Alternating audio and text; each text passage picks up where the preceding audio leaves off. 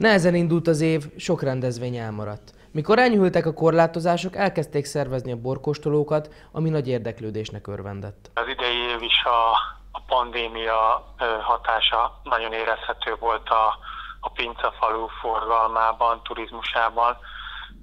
Ugye május végéig nem lehetett abszolút vendégeket fogadni a pincafaluba, nem lehetett ugye borkostolókat tartani. Júniustól, ugye ahogy kezdődött a nyitás, akkor a pincefaluban is egyre nagyobb élet, egyre jobban megtelt élettel a pincefalu, és mi is, mint a Vintegro Egyesület próbáltunk ugye minél több rendezvényt szervezni, minél több programot, hogy, hogy kihasználjuk a, a lehetőséget, és megmutathatjuk a vendégeinknek a, a borainkat, a pincéinket, és a, és a hajósi pincefalut is. Idejében gyakorlatilag minden hónapban próbáltunk valami kisebb kisebb-nagyobb rendezvényt szervezni. A legnagyobb érdeklődés a tökös pincenyitogatón volt. Tökös pincenyitogató októberben ö, tartottuk meg. Tökös pincenyitogatót most már mondhatom, hogy ö, évek óta az egyik legnépszerűbb rendezvényünk. Ugye itt egy pincenyitogató rendezvény ként 15 pince volt nyitva, 15 pincében tudtak kóstolni a vendégek, és lámpásokkal volt körberakva az útvonal, ahol, ahol ugye nyitott pince volt, és hova bemertek a vendégek kóstolni.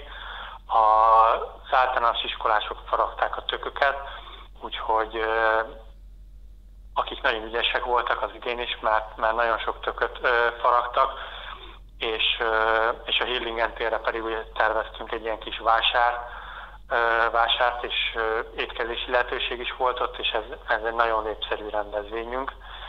A tavaszi pincényitogató még, ami, ami hasonlóan népszerű szokott lenni, csak sajnos azt az időjében nem tudtuk megtartani, reméljük, hogy most tavasszal majd, majd sikerül. Kilenc évvel ezelőtt kezdődött a pincegyitogató sorozat, azóta a hagyományá vált. Kilenc évvel ezelőtt, akkor szervezte a Vintegro Egyesület először a pincényitogatót, az ugye az adventi pincényitogató volt, és akkor onnantól kezdve 2013-ban akkor ugye volt a tavaszi pincényitogató, aztán a fröccsözön, és 2015-től van ugye a tökös pincényitogató, és most az ahhoz képest ugye mi próbálunk mindig újítani, új programokat is felvenni az esemény naptárba, és, és így tényleg az a célunk, hogy minden hónapban legyen egy kisebb-nagyobb rendezvény a, a Pincefaluban.